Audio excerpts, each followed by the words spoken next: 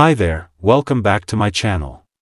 In this video I'm gonna show you, how to fix queued email problem on Gmail. Just follow my steps to fix this issue. First let's try to send an email.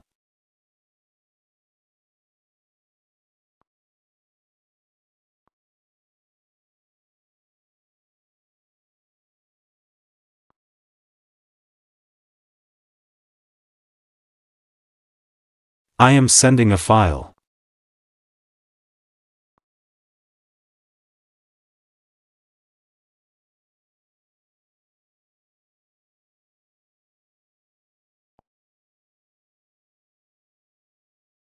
You can see here it says one unsent in outbox. Now if I go to the outbox of my Gmail, here we can see that the email is queued, it means that the email was not sent and it's still waiting to be sent. So let's start how to fix this problem. First you need to click on the three lines. And then go to settings.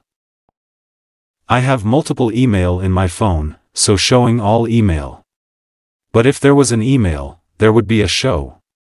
Now select your specific email that you are using to send an email. And then here you need to scroll down to the bottom, and find Sync Gmail option. Now you need to uncheck the box here. After unchecking you need to restart your phone. After restarting open Gmail again.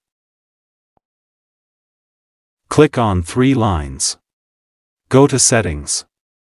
Select your specific email that you are using to send an email. And scroll down to the bottom, and find Sync Gmail option. And check the box again. And after that it will fix the queued email problem. Now let us check the outbox, and refresh this page if email not sending. As you can see the email is no longer here, it means email has been sent. Thank you for watching this video. If you think this video is helpful for you, please hit the subscribe button and turn on all notifications icon.